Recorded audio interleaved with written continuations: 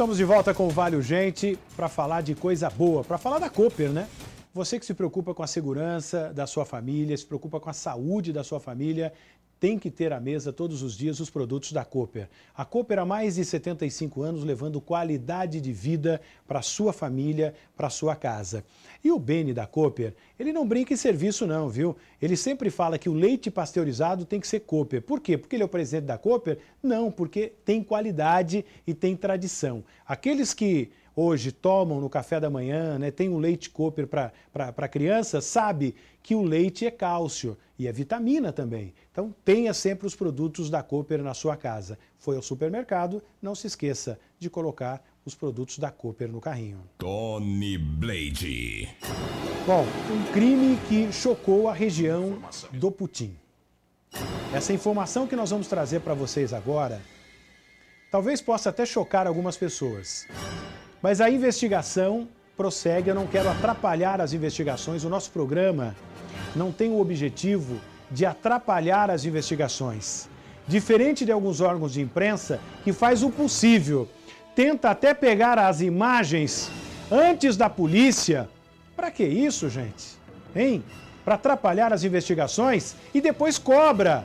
Olha, não vai investigar, ora, vocês acabaram com as provas, horas. Então o que eu vou mostrar aqui eu posso mostrar porque eu tenho autorização da autoridade.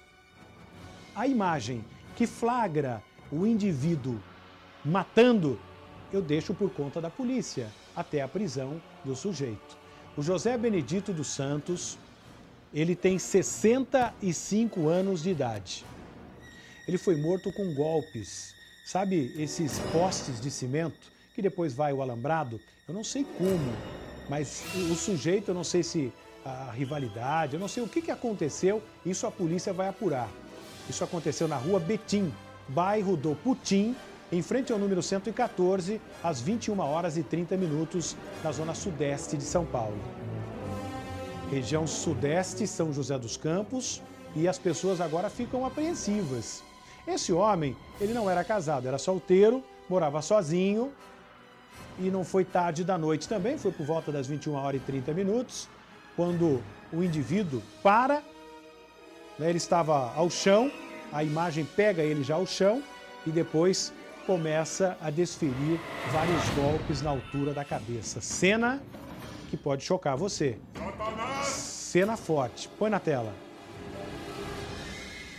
Cena forte que você vê aí com exclusividade. Isso aconteceu em frente a uma indústria. E por conta disso, a polícia já requisitou as imagens. Olha só a arma utilizada. Foi um bloco de cimento, um pedaço né, de cimento que foi lançado várias vezes contra a cabeça desse homem de 65 anos. Ele era conhecido na região. Todos conheciam. Esse é o local do crime. Olha só. Foi aí que ele foi morto 21 horas e 30 minutos. E essas fábricas que vocês estão vendo aí, tem câmera de monitoramento. E o vigilante, eu não sei de qual fábrica, não posso afirmar, já prestou depoimento e vai com certeza ajudar a polícia na elucidação deste caso. Doutor Osmar está à frente desta investigação. Conta pra gente aí, doutor, como é que está essa investigação? O que, que o senhor tem, que o senhor pode antecipar pra gente aí? O que nós temos de informação é que trata de uma pessoa de 65 anos de idade e sofreu uma pancada na cabeça com um pedaço de, de pedra. E os policiais agora vão investigar para saber a causa desse, desse crime. Não, não tem nada a ver com crime organizado, não. Isso é um caso isolado. É, deve haver um, alguns entendimentos lá com, com alguma pessoa e aconteceu o homicídio. É, nós temos alguns equipamentos eletrônicos lá na área, como câmera, e nós vamos então ver esse equipamento para ver o que, é que nós temos lá de, de útil para nós. Tenho certeza que as câmeras ou as imagens vão ajudar na elucidação desse caso. Eu não sei o motivo, né? eu não sei também se tem motivo para matar uma pessoa. Né? Teve uma, uma reportagem que o, o cidadão tinha matado a mãe. Aí o repórter disse: Bom, ele matou a mãe sem motivo aparente. Precisa ter motivo para matar a mãe? Acho que não, não existe motivo né, para tirar a vida do, do, do semelhante. Tem que deixar a justiça agir. Mas não é dessa forma. Então a violência existe, a prova está aí, cenas fortes que vocês acompanharam. Quando a polícia prender o responsável, você vai saber e ele vai dizer o porquê tirou a vida desse homem de 65 anos. Tony Blade. O Vale Urgente está aguardando a sua ligação. 9711 1313, opção 2, depois opção 1 para o Berra Bairro para você ganhar um cobertor Paraíba antialérgico casal, um presente aqui do nosso programa, tá bom? Então vai ligando que amanhã nós vamos sortear aqui três cobertores. Qualquer dia eu vou trazer o Pedro aqui da Copertest. Hein, Pedrão? Obrigado, viu? Você é parceiro da gente. Olha, não pede absolutamente nada em troca. O Pedro é parceiro de verdade.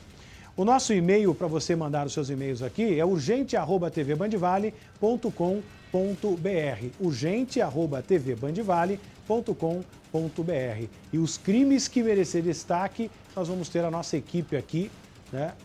Os nossos atores para fazer a reconstituição do crime. Se você não quer virar notícia, não cometa crime. Eu volto amanhã. Vem aí Solange Moraes. Não perca o programa da Solange Moraes, não, viu? Com a vitória do Corinthians, tem coisa aí que, pelo amor de Deus, que ela vai mostrar hoje.